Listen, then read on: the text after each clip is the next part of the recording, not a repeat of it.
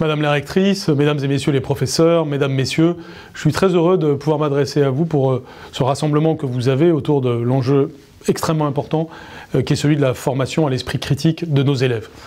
Euh, cet esprit critique, il est finalement au cœur de la mission de l'école de la République, parce que l'école de la République est la fille des Lumières, et le message des Lumières, c'est justement de savoir une approche avoir une approche critique, au sens cartésien du terme, de la réalité. Avoir l'esprit critique, c'est interroger le réel, c'est euh, s'étonner, comme le disait Platon, et il disait que c'était la première vertu du, philosophe, et c'est euh, savoir se remettre en question pour euh, aller de l'avant c'est euh, avoir ce recul sur ce que l'on connaît soi-même, euh, comme euh, les sciences cognitives nous l'indiquent, au travers de la métacognition en particulier. Je sais que vous allez avoir aujourd'hui des interventions très importantes sur ce point. L'esprit critique, nous savons qu'il est plus que jamais nécessaire.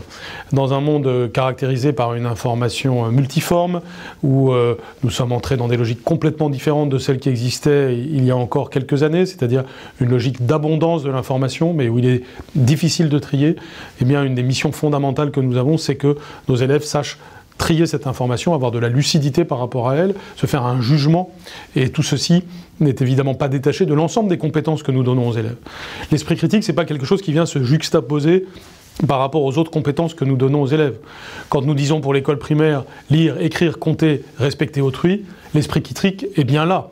Parce que s'ils ne savent pas bien lire, par exemple, et bien comprendre ce qu'ils lisent, il est impossible qu'ils puissent développer l'esprit critique. S'ils ne développent pas des compétences mathématiques, eh bien, ce sont des compétences logiques qui ne seront pas là en arrière-plan pour leur esprit critique. Nous voyons bien que donc tout est relié par l'esprit critique. Et d'une certaine façon, au travers de l'enjeu de l'esprit critique, nous avons l'enjeu de l'unité des savoirs. Trop souvent, on oppose les humanités littéraires et les humanités euh, scientifiques, euh, ce qu'on appelle parfois les sciences dures ou euh, les sciences humaines.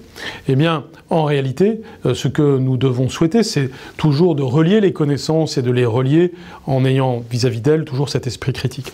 Et l'on voit bien que derrière cela l'enjeu de la culture d'une part, pour que l'enfant ait les références nécessaires euh, lorsqu'il apprend une information, et l'enjeu de la logique d'autre part, pour que les modes de raisonnement euh, soient rationnels, sont clés en arrière-plan de l'enjeu direct de l'esprit critique. Parce que l'esprit critique, contrairement à ce qu'une première approche pourrait dire, c'est pas simplement critiquer. Ça, euh, nous sommes plutôt assez forts sur ce point.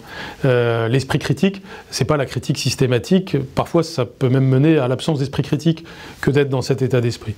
En revanche, euh, l'esprit critique, c'est savoir avoir du recul par rapport à la réalité pour mieux l'analyser, mieux la décortiquer, mieux aussi se faire un jugement qui peut être son jugement propre vis à -vis de cette réalité. Une des raisons pour lesquelles nous avons instauré désormais un grand oral pour le baccalauréat, c'était non seulement de valoriser la capacité d'expression de chacun de nos élèves, mais aussi la capacité à argumenter, à être dans un jugement rationnel qui permet de dérouler une argumentation. On le voit bien, l'esprit critique est fondamental. Euh, c'est ce qu'il y a aussi derrière l'éducation aux médias, l'éducation à Internet, l'éthique de l'informatique. Tous ces sujets sont clés, peuvent être articulés autour de l'enjeu de l'esprit critique. C'est pourquoi j'attache tant d'importance euh, à cette formation que vous avez. Je remercie euh, la rectrice et l'ensemble de l'Académie de cette initiative et je vous félicite de votre engagement pédagogique, éducatif traduit par une telle formation. Merci beaucoup.